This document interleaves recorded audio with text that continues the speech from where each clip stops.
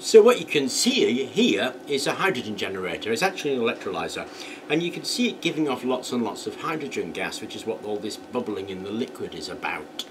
Now I'm fascinated by these, but the challenge with these is actually making them because you have to make those plates out of stainless steel and to be honest all that mucking around with stainless steel cutting the plates and drilling them is really quite challenging to do with home tools especially with stainless steel so I came up with this little method of making an electrolyzer a super super easy and it uses this stuff which is stainless steel expanded metal lath and the reason this is so much easier is because you can cut this with a pair of tin snips, no worries at all. So you can cut sections of that, make an electrolyzer, then electrolyze it. Now traditionally what you electrolyse is water, and I'm not electrolysing water in here. You can see it's this strange colour. It's this strange colour for two reasons. One, the stainless steel is dirty because I just made this, and the other one is it's not water in there, it's this stuff. This stuff is urea in solution. So it's actually a urea solution that we're electrolysing, and we're electrolysing urea for a very good reason. Water electrolyzes about 1.23 volts. Urea electrolyzes at 0.37 volts. So the voltage requirement for it is very, very much lower. What that means is when we burn that hydrogen that's been given off there, the net energy is positive in our favour. We get more energy out than the energy we've put in to actually electrolyse the urea. That's really significant. Now if you have a look around you will find um, stuff about urea electrolysis and backing up exactly what I just said, but you won't find much in the way of meat and detail of how to go about doing it. It's just people saying, hey, look at this. So this is about how to build that electrolyzer, what kind of solution of urea to use, and then generate that hydrogen for you. So let's get on with it. To do this I've got a great big glass jar and some of this stuff. This stuff is expanded metal lath. It's stainless steel.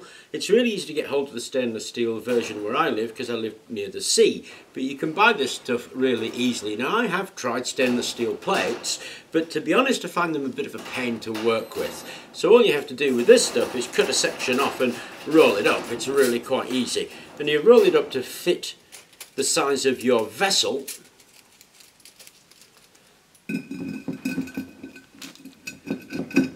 it will just slot in there, it'll spring out a little bit to cover the inside. So that's one electrode, we need to make the other electrode and I'm just going to do that by cutting another section of this lath off with an angle grinder.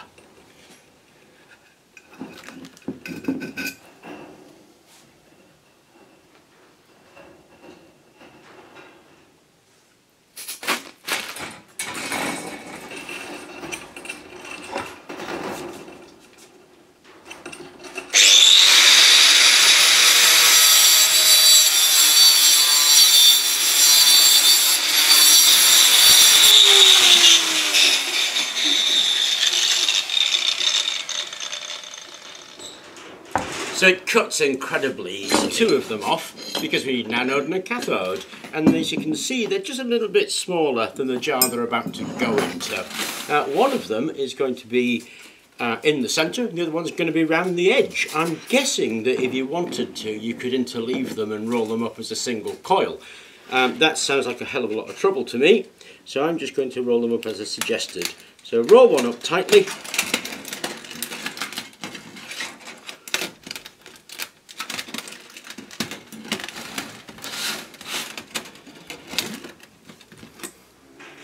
and that will slot in there as the central electrode. Now obviously the minute you finish with that it's going to want to unwind so secure it with some cable ties. Okay so that's the centre one secured so we can handle it, uh, handle it a bit.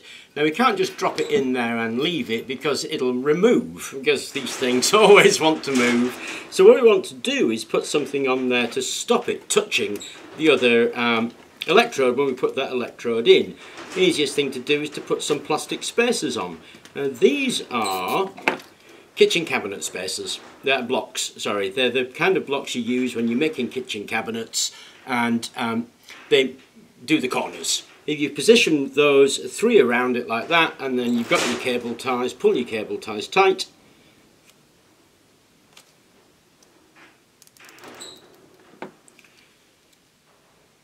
There we go.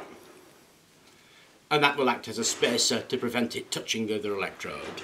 I'm going to do the other one, then I'm going to wind that up and drop it in. Okay, so there it is wound around. As you can see, we've got the inner core, spacer blocks, outer core, and you can see this blue wire. This blue wire is actually 1.5 mil uh, twisted strand household wire, and it's rated at something like 20 amps. So plenty of current cap carrying capability on that wire. If you need more, put more wires around it. All you do is strip the wire back, so you've got a good length find yourself a reasonable hole somewhere around that you can uh, twist this in feed it through a few of them if you can. Give it give it a twist until it's nice and tight and then put a dollop of this stuff around it which is all-purpose sealant and that will stop you um, stop any electrolyte getting to it so I'm just going to coil this around and do exactly the same thing with the central one there it is It's a bit like um, sewing actually. There you go, an incredibly fast and easy to make electrolyzer without all that tedious mucking around with stainless steel plates. It's pretty much ready to go actually, but obviously the reason you would do this would be to collect the hydrogen gas that it's going to generate. So this thing came with a lid. The lid's got a little seal around it, but I might put extra seal on there. But obviously if we put the lid on, we want some way of collecting the hydrogen. Now this is a specialist part. It's a seal. It's a valve seal that takes some tube which is lying around somewhere. Don't know where it is, I'll find some tube. It takes a blue tube that exactly fits in there and forms a gas seal. So all I have to do is drill out some holes, which I've done, pop that in there and then bolt it on put a bit of PTFE or sealant around that and then I'm ready to stick my blue tube in there. And you'll notice two more holes. And they're to take the wires so the wires can then come through. And again we can pop a little bit of sealant on there so that we can seal that whole thing. And the only escape point is here for the hydrogen gas. Of course we'd want to um, refill it so we might want another hole in there with a valve on it so we can put some more water in there. But um, I'm not that worried about it. If I do want to undo it, then I'll just suffer the stresses on these joints here until I see how well it works and whether it's going to be a bit more of a production type or not. But basically that's all there is to it. And there it is, generating lots and lots of gas. So there you go, perhaps the easiest uh, hydrogen generator you can actually make. Now it's running at uh, 21 volts, 3 amps, so 62 watts, so it's not taking a huge amount of power. Um, and I just threw that together for the video. Obviously you could play around with those plate geometries, maybe interleave them, maybe make them S-shapes, maybe dual coil together, maybe multi-point wire attachment. There's a lot of playing around with the geometry. But the main thing is how easy it was to make. Um, I've tried the other electrolyzers and to be honest, cutting all those stainless steel plates, drilling them and bolting them and using those nylon rods to keep them all separate, I found just an absolute pain. So this is certainly a much easier way to make an electrolyzer than using stainless steel plates. Now the thing to do obviously is to get a flow rate for the amount of energy that we're putting in. And the reason it's this colour incidentally, it's not uh, a clear colour, is because um, obviously the stainless steel was dirty, I just cut it off the sheet, you saw me do it. So there's a bit of dirt in there, but this is not water, this is uh, urea. This is in fact a urea electrolyzer, which is this stuff in water. This is the urea. Urea is a fertilizer, it's uh, singularly the greatest waste product on the planet. Water electrolyzers at 1.23 volts, urea electrolyzers at 0.037 volts, and that's a 33% solution of urea. So it should take a hell of a lot less energy to generate the hydrogen than it would do to use water and KOH, which is your traditional hydrogen um, electrolyte that you find in these electrolyzers. Urea electrolysis has been investigated quite extensively, although it's quite difficult to find the um, facts of the matter. You can find an awful lot of urea electrolysis going on if you search for it, because you can get a net positive out of it.